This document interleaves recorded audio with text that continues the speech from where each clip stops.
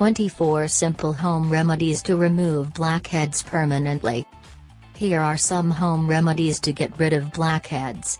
Do try these and you will see the results soon. Egg white, cinnamon, aloe vera, turmeric and mint juice, fenugreek, tomatoes, clay mask, charcoal, green tea, strawberry, aspirin mask, baking soda, honey, milk, lemon, exfoliating wash, coconut oil, castor oil, jojoba oil, salt water, cleansing, toothpaste, apple cider vinegar, steaming your face. So, what do you think? Now I want to hear from you, what do you think of this list? Maybe I missed a high quality tip.